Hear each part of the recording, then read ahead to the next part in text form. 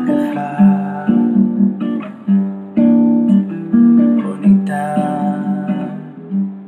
bonita, ¿qué tal? Papel, yo no pa' francés.